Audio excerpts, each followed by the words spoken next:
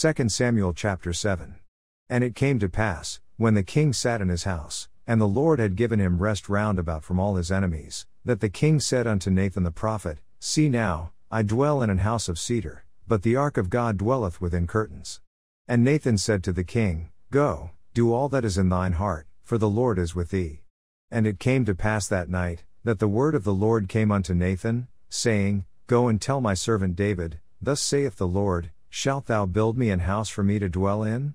Whereas I have not dwelt in any house since the time that I brought up the children of Israel out of Egypt, even to this day, but have walked in a tent and in a tabernacle. In all the places wherein I have walked with all the children of Israel spake I a word with any of the tribes of Israel, whom I commanded to feed my people Israel, saying, Why build ye not me an house of cedar? Now therefore so shalt thou say unto my servant David, Thus saith the Lord of hosts, I took thee from the sheepcote, from following the sheep, to be ruler over my people, over Israel. And I was with thee whithersoever thou wentest, and have cut off all thine enemies out of thy sight, and have made thee a great name, like unto the name of the great men that are in the earth. Moreover, I will appoint a place for my people Israel, and will plant them, that they may dwell in a place of their own, and move no more, neither shall the children of wickedness afflict them any more, as before time. And as since the time that I commanded judges to be over my people Israel, and have caused thee to rest from all thine enemies. Also the Lord telleth thee that he will make thee an house. And when thy days be fulfilled, and thou shalt sleep with thy fathers, I will set up thy seed after thee, which shall proceed out of thy bowels, and I will establish his kingdom. He shall build an house for my name, and I will establish the throne of his kingdom forever. I will be his father, and he shall be my son. If he commit iniquity, I will chasten him with the rod of men, and with the stripes of the children of men. But my mercy shall not depart away from him, as I took it from Saul, whom I put away before thee. And thine house and thy kingdom shall be established forever before thee, thy throne shall be established forever. According to all these words, and according to all this vision, so did Nathan speak unto David. Then went King David in, and sat before the Lord, and he said, Who am I, O Lord God? And what is my house, that thou hast brought me hitherto? And this was yet a small thing in thy sight, O Lord God, but thou hast spoken also of thy servant's house for a great while to come. And is this the manner of man, O Lord God? And what can David say more unto thee? For thou, Lord God, knowest thy servant. For thy word's sake, and according to thine own heart, hast thou done all these great things, to make thy servant know them. Wherefore thou art great, O Lord God, for there is none like thee, neither is there any God beside thee, according to all that we have heard with our ears.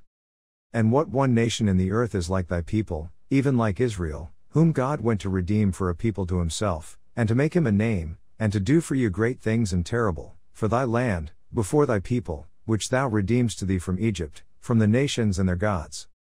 For thou hast confirmed to thyself thy people Israel to be a people unto thee forever, and thou, Lord, art become their God.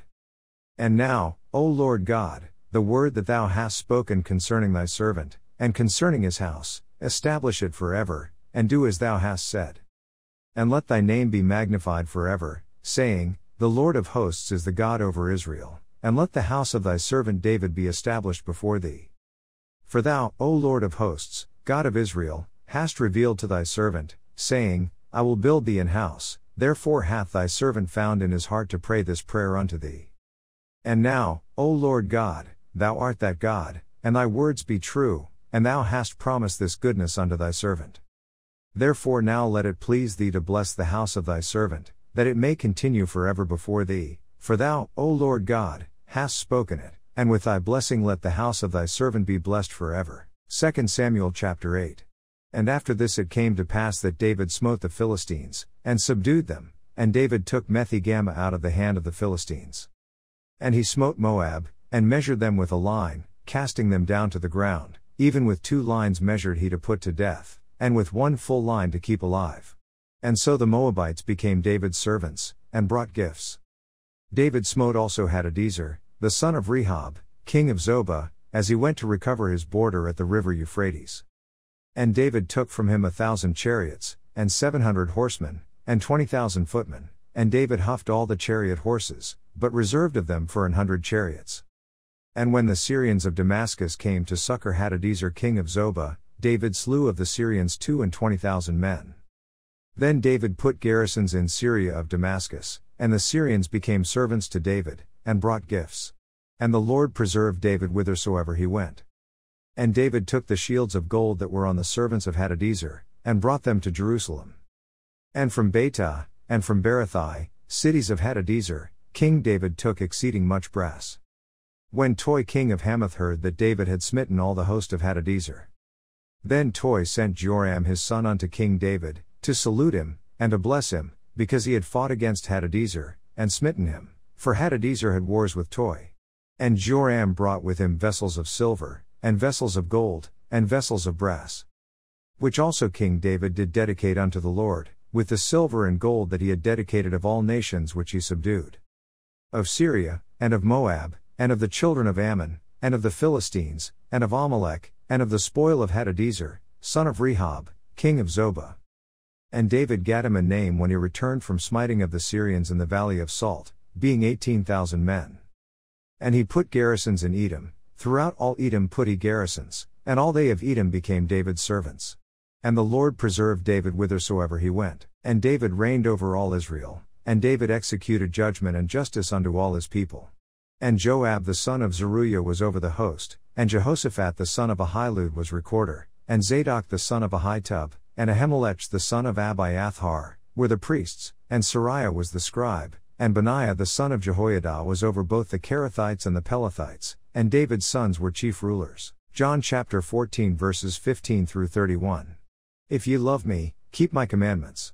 And I will pray the Father, and he shall give you another comforter, that he may abide with you forever, even the Spirit of truth, whom the world cannot receive, because it seeth him not, neither knoweth him, but ye know him for he dwelleth with you, and shall be in you. I will not leave you comfortless, I will come to you. Yet a little while, and the world seeth me no more, but ye see me, because I live, ye shall live also. At that day ye shall know that I am in my Father, and ye in me, and I in you. He that hath my commandments, and keepeth them, he it is that loveth me, and he that loveth me shall be loved of my Father, and I will love him, and will manifest myself to him. Judas saith unto him, not Iscariot, Lord, how is it that thou wilt manifest thyself unto us, and not unto the world? Jesus answered and said unto him, If a man love me, he will keep my words, and my Father will love him, and we will come unto him, and make our abode with him. He that loveth me not keepeth not my sayings, and the word which ye hear is not mine, but the Father's which sent me. These things have I spoken unto you, being yet present with you.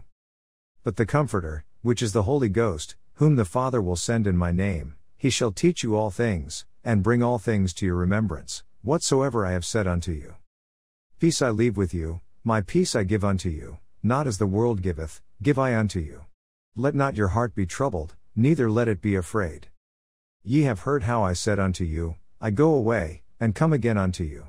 If ye loved me, ye would rejoice, because I said, I go unto the Father, for my Father is greater than I. And now I have told you before it come to pass, that, when it is come to pass, ye might believe. Hereafter I will not talk much with you, for the prince of this world cometh, and hath nothing in me, but that the world may know that I love the Father, and as the Father gave me commandment, even so I do. Arise, let us go hence. Psalms chapter 119 verses 33 through 48. Teach me, O Lord, the way of thy statutes, and I shall keep it unto the end. Give me understanding, and I shall keep thy law, yea, I shall observe it with my whole heart. Make me to go in the path of thy commandments, for therein do I delight. Incline my heart unto thy testimonies, and not to covetousness. Turn away mine eyes from beholding vanity, and quicken thou me in thy way. Stablish thy word unto thy servant, who is devoted to thy fear. Turn away my reproach which I fear, for thy judgments are good. Behold, I have longed after thy precepts, quicken me in thy righteousness. Let thy mercies come also unto me, O Lord, even thy salvation, according to thy word. So shall I have wherewith to answer him that reproacheth me, for I trust in thy word. And take not the word of truth utterly out of my mouth, for I have hoped in thy judgments. So shall I keep thy law continually for ever and ever. And I will walk at liberty, for I seek thy precepts. I will speak of thy testimonies also before kings, and will not be ashamed. And I will delight myself in thy commandments, which I have loved.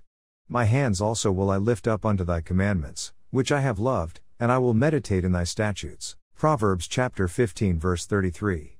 The fear of the Lord is the instruction of wisdom, and before honor is humility.